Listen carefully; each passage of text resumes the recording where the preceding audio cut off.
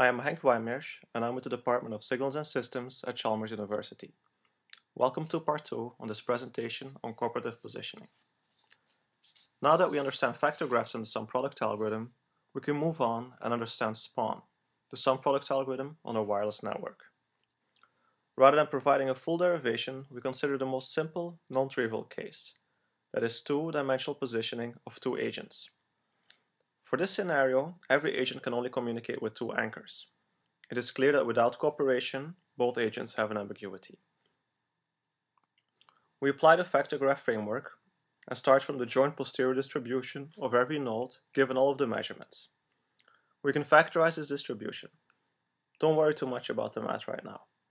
The important thing is that from this factorization we can draw the factor graph. First we draw the variable vertices corresponding to the positions of every node.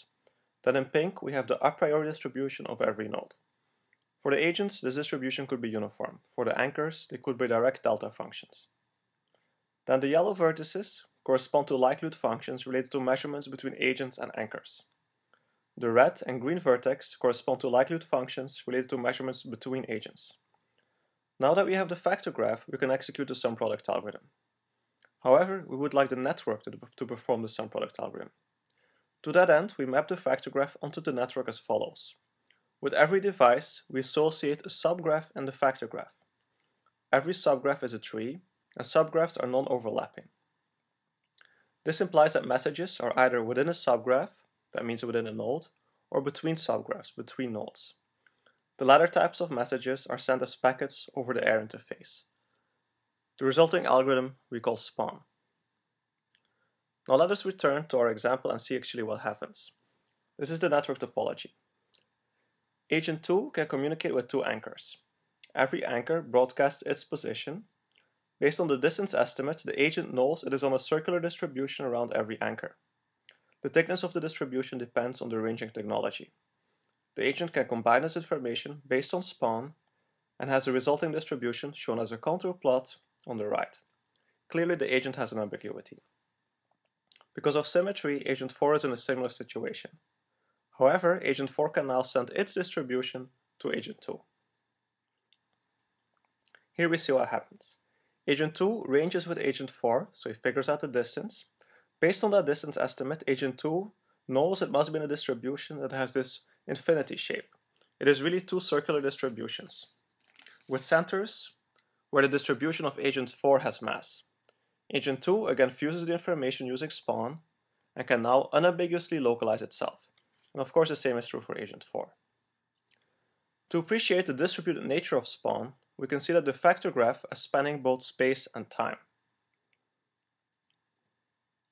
So this is the network topology as it varies over time with nodes entering and leaving the network. And this is the corresponding factor graph. So the factor graph is, can be very, very large, spanning space and time. However, every node in the network only needs to know its local part of the factor graph. As nodes enter and leave the network, every node's local factor graph can grow or shrink correspondingly, giving rise to a large organic factor graph. We now move on to some simulations.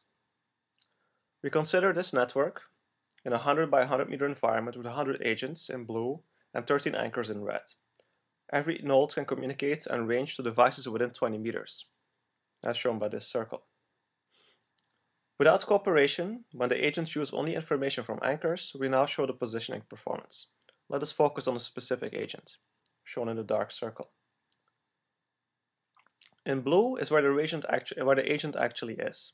In green is its MMSE estimate, so the, the mean of its belief.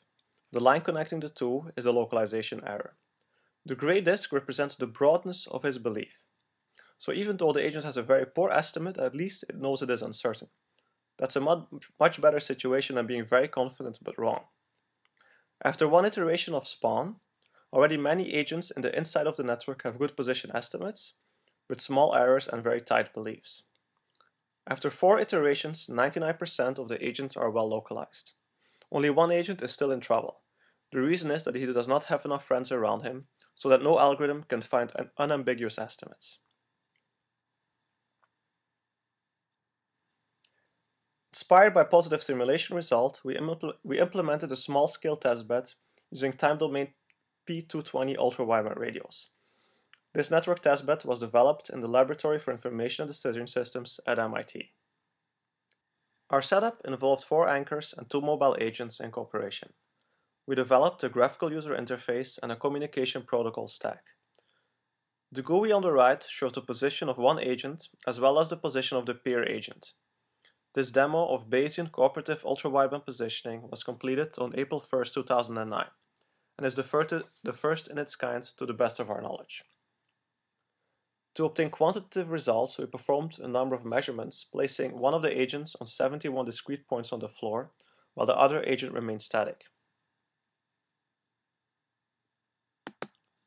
This movie shows a quick dry run of the measurement process. The actual measurements took about 5 hours.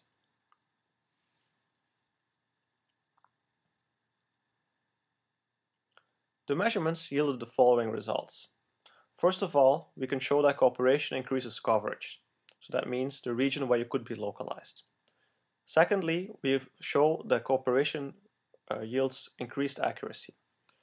In our scenario, based on the 71 data points, we found that without cooperation, 90% of the measurements had an error exceeding 1 meter.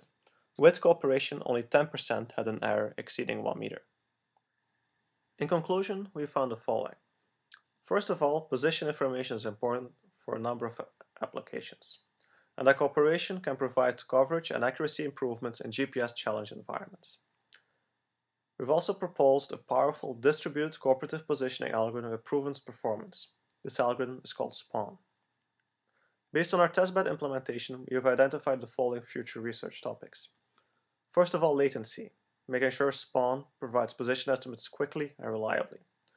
Secondly, convergence. Spawn is based on loopy belief propagation and suffers the same convergence issues that are faced, for instance, in LDPC decoding. Finally, we want to improve the robustness of Spawn, for instance, in non-line of sight propagation. Finally, these are some links to some of the background reading if you are interested in more details. And below are pictures of everyone who was involved in the team to develop Spawn, and also the testbed implementation. This ends this presentation. Thank you for your time.